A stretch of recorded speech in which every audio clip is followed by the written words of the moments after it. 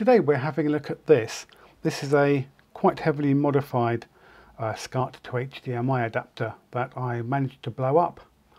And I did that by forgetting it was connected to my power supply when I was setting a new voltage up on it.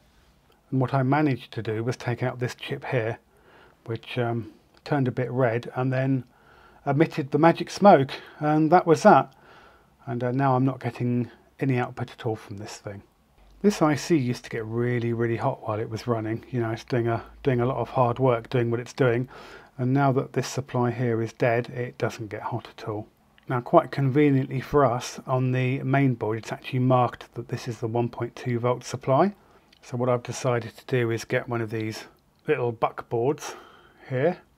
I've set it to 1.2 volts and put a little, little bit of thread lock just on the pot there so it doesn't uh, change. And I'm going to wire that into this board and uh, hopefully get this up and running again. I've already actually removed this chip so I can just literally kind of take that off now. A little bit fiddly because as you can see it's quite small. And what we now have is we've got this coil here and we've got these caps here. Now these will be the output filter caps and that's where I'm going to connect my buck converter to. So I'm actually going to remove this entirely so I got better access onto these. Solder a couple of wires onto either side of maybe the, the bigger one of those because it's easier to solder to. And then connect that to the output of my buck converter. The input of the buck converter I will connect to the 5 volts going into the board. Now the first thing I need to do is uh, probably find out where the 5 volts actually goes on this thing. And I can see that over here there's a pad that says 5 volts. It'd be really nice if I could take it off of that. So I'm going to plug it in and just measure those connections and just see what they read. So we've got a 5 volts going in on that bottom pad there. That's one thing I'm going to solder the first of my wires to. Let's just double check that.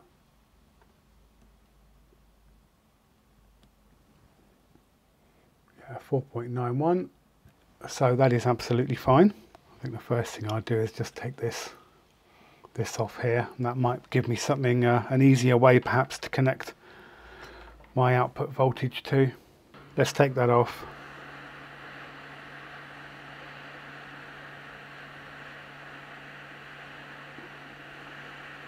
see why so many people use these uh, quick stations. They're absolutely brilliant things.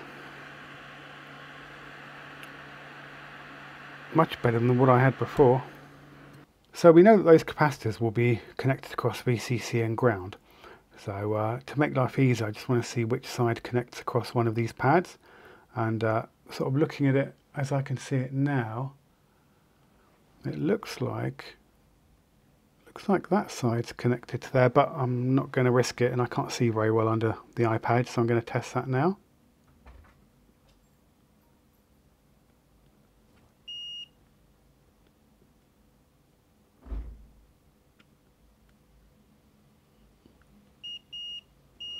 Okay, so that side is connected to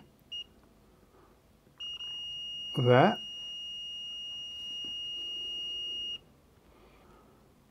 So one side of this will be ground, the other side will be VCC.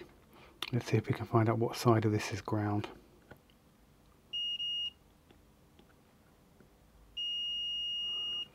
So ground is that side there. And then the actual VCC is that top one there. So I can solder my VCC, my output from the buck converter to the top one. And uh, yeah, the other one just to ground by the looks of it. I'm just going to mark that on there just for clarity.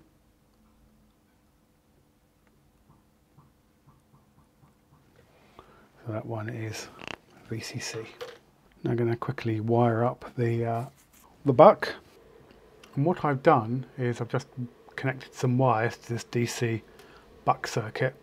The yellow wire is the output VCC, black wire ground, black wire input ground, red wire uh, 5 volts VCC in. Let's have a look and see where I'm going to solder this to then. Now we know the VCC for the 1.2 volts can go on that top pad there. So we could solder that first.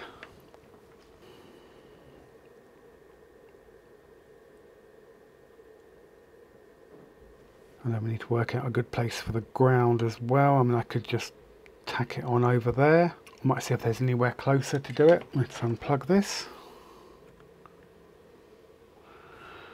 And start our wiring.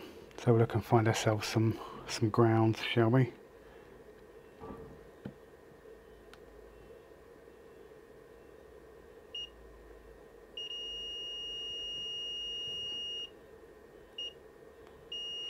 So we've got a ground there we can solder onto for the input, or the output actually.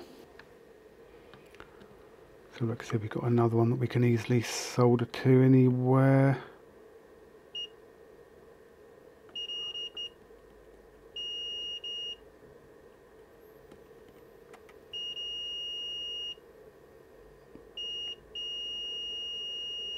I think I'm going to do yeah, the output onto that one and the input can go onto that one.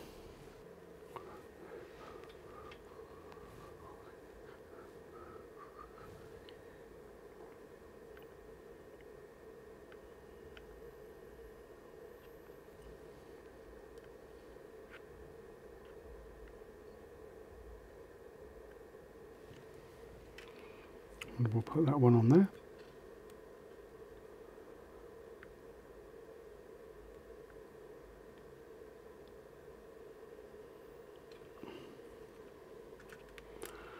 I need to check that 5 volt input again. Let's get the output ground wired up as well. That can go over here. See if I can find a bigger one to connect that to because that's actually quite hard to solder to. I've got a few unused sockets I've removed.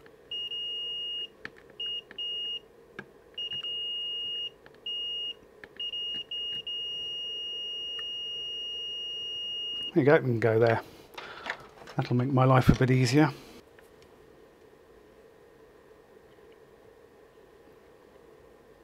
This has actually been converted to run an Amstrad CPC on because I do mend them occasionally. And uh, yeah this is quite a common quite a common device you can get on uh, on eBay. But it's the pain in the uh,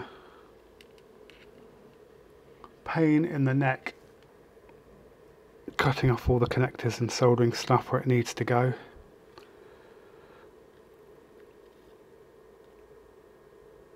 Okay, so we now have a ground on there.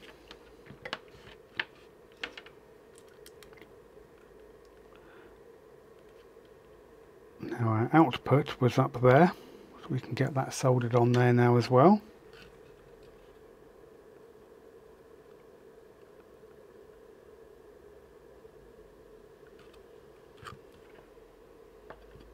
Move it over a little bit. It's a little bit close to the other pad.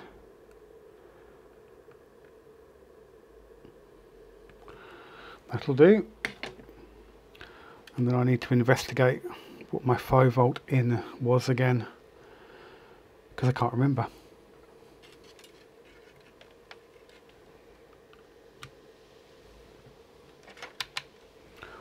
Let's have a check of that.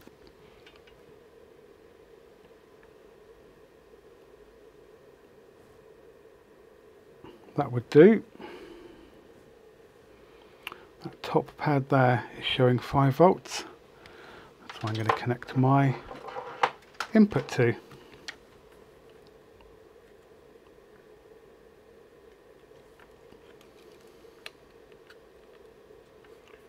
Like so.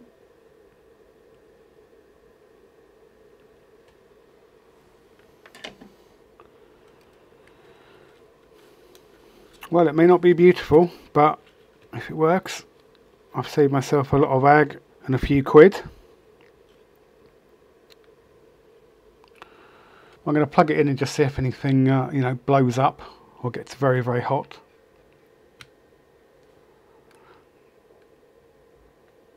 Now this chip normally gets quite warm when it's up and running. I can feel some heat there now.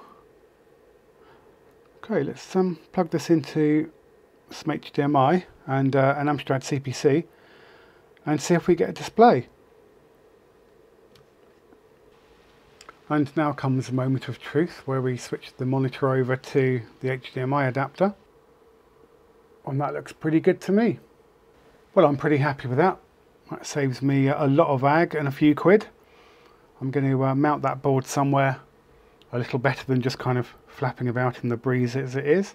Doesn't seem to be getting too warm or anything, so it doesn't feel like it's working too hard, which is nice. So I'm going to use a little bit of uh, double-sided 3M tape, stick it down here, and then, um, yeah, put its lid back on. If you've enjoyed this video, please like and subscribe. If you have any questions, please leave them in the comment section below. Thank you very much. Goodbye.